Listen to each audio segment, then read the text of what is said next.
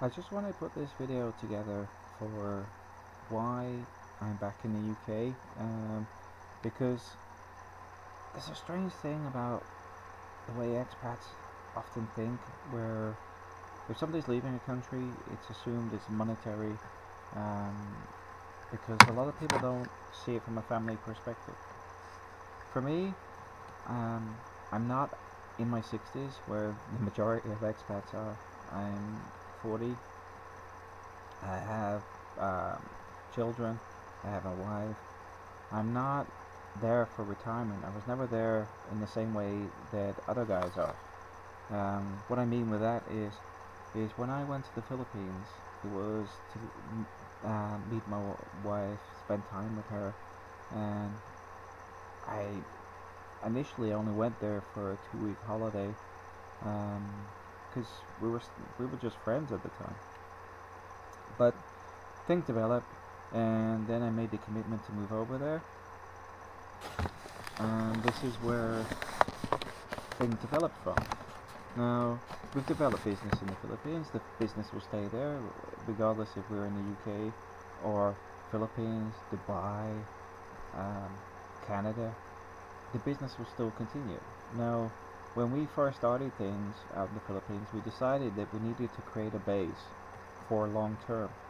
Um, this this was predominantly for not only if we ever wanted to go back full time, but also if we wanted to travel or to help with April's parents' um, retirement because there's always stuff that needs doing and they they they can do stuff uh, out there. So it was a it's not like the normal expat setup that most of the other guys do. Because for me I'm still quite young. I've still got uh, a good career. I'm still developing my career.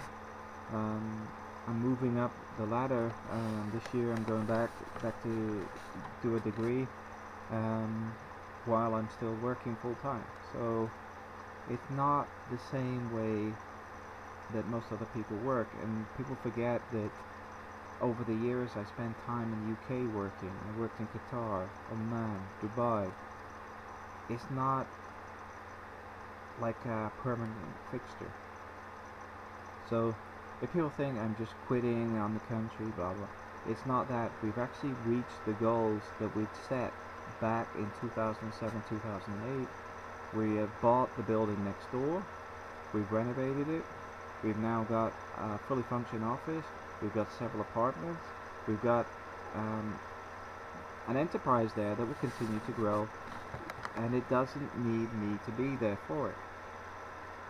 Now, the UK side was always going to happen because of the children. Because our kids need a good education. I can't get in the Philippines. Also, the way things are there, there's no real future for the kids out in the Philippines where the UK can give them the world. Now, if you imagine uh, you can mix with the rich kids, you know, spend a lot of money on education and stuff in the Philippines, but where does it go? You know, you get educated, where they're going to go? They still got a Philippines passport.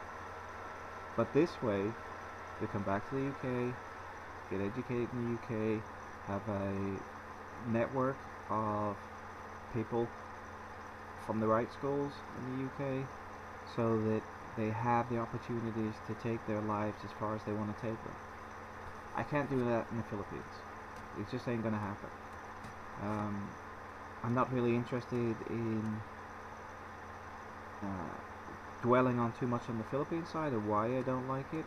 Um, but let's just say a lot of the money is made out of corruption and I'm not interested in my kids mixing with that side of life in the Philippines and I also don't see the same opportunities with a Philippine passport compared to a UK one.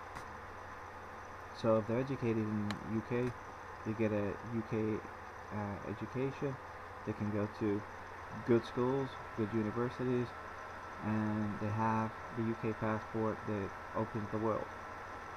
Now for my wife, it's also something we'd agreed to do a long time ago because I want my wife to experience Europe, experience good food, experience good wine.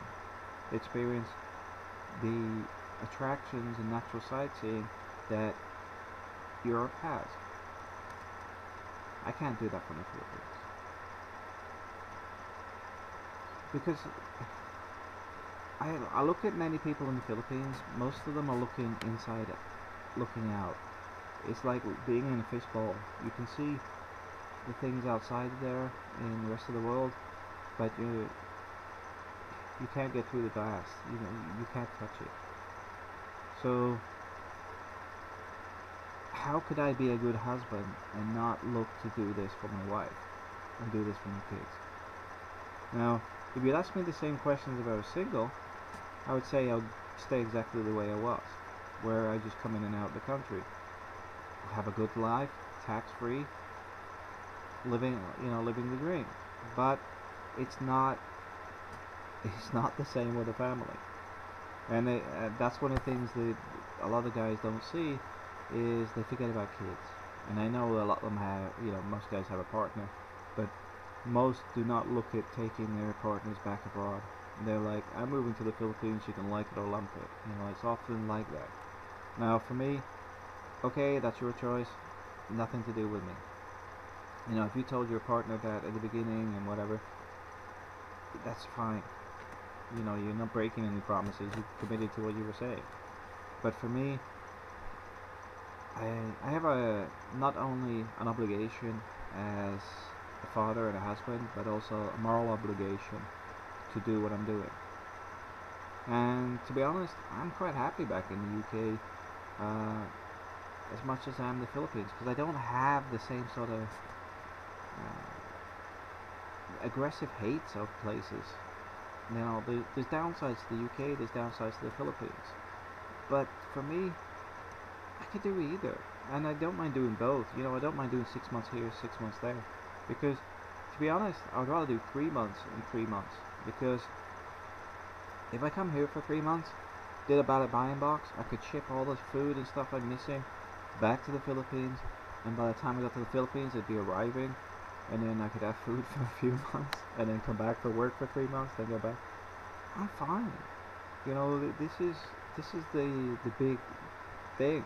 Is it's not like a normal relationship that most expats have. Firstly, I work abroad anyway. I, I'm always abroad. Um, I do a lot of stuff in and out of the country. I go to the Philippines.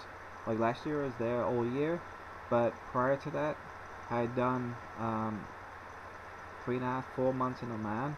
Then I did some time in Qatar, and I did a little bit of time in Dubai, and then I'd gone back to the Philippines.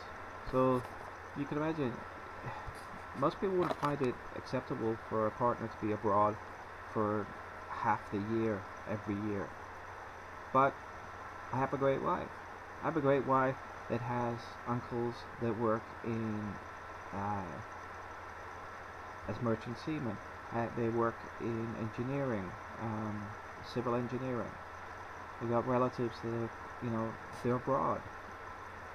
And they're abroad for a long time every year. Now that was the other thing I was looking at when I, you know, all these decisions were made.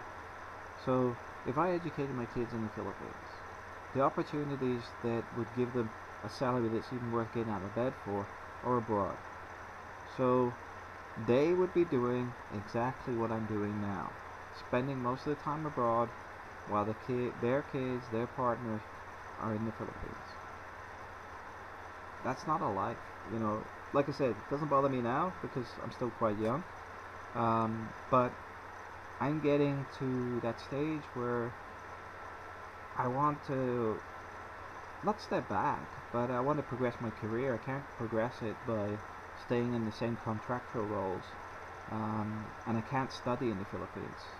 The degree needs to be done in the UK because of the, the work I do. It's got to be to a certain standard. So I can't do that from the Philippines. At the same time, my wife cannot progress her career from the Philippines. And the kids, same thing. You know, if they get a they get qualified as a nurse in the Philippines, we all know when they go abroad they have to go and retrain to to be uh, up to a standard that's acceptable in another country. For me, I might as well just rip that bit of paper up and say don't bother. Because the reality is, if the standard in the Philippines isn't high enough, people should be complaining more to say it should be to an international standard, not accepting sec second best.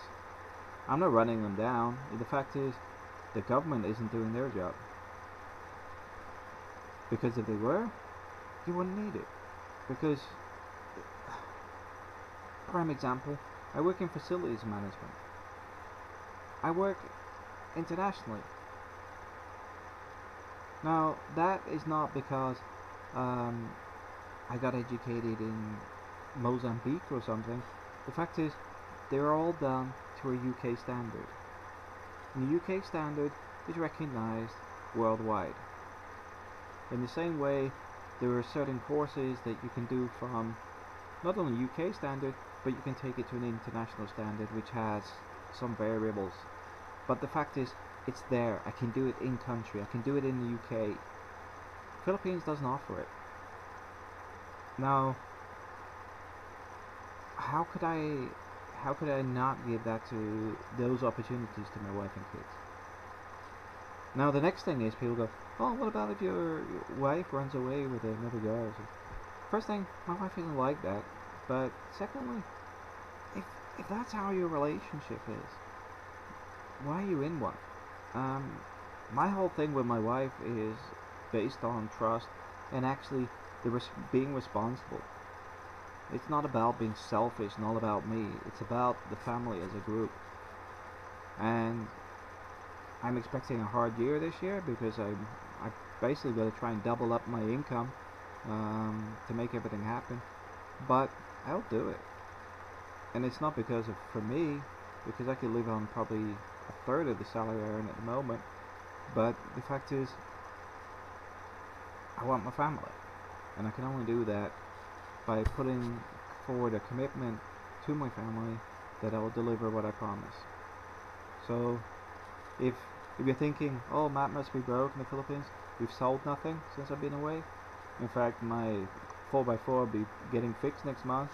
Um, they, my motorbike's still there. We've still got the other house. We're actually going to be renovating the upstairs this year as well. There's nothing changing in the Philippines in a negative way. The UK side is going to develop, and it's going to develop at quite a fast pace because I'm limiting my cost to increase our potential earnings here so that we can do what we want this by by Christmas this year. I'm expecting things to be pretty pretty good and in ship shape. So yes I'm going to be a lot away from home a lot but one thing I will say is that I don't hate the Philippines. I I talk about what I call bugs but the thing is they are exactly that in the same way the UK's SORN notices the statutory uh, off-road notification is a bug. The UK has a lot of bugs, the same as the Philippines. But people need to define and understand the fact that these are not hates. These are just things I bring up because it's like you should be aware of. In the same way, when they do visa processing, you need to be aware of. It's not. It's it's it's a basic guide. It's not actually set in stone. And you might find that some of the stuff that bugs me doesn't bug you but at the same time it's not really gonna ruin my life you know it's just simple stuff um, but anyway I just want to say why I'm back in the UK and that things are things are pretty good um, there's nothing really to write home uh, about right now because I'm just getting in the start stage it's January I'm expecting things to be slow to get moving but once it does the, there'll be some huge leaps forward this year Okay, thanks thanks for listening. I know I go on a bit.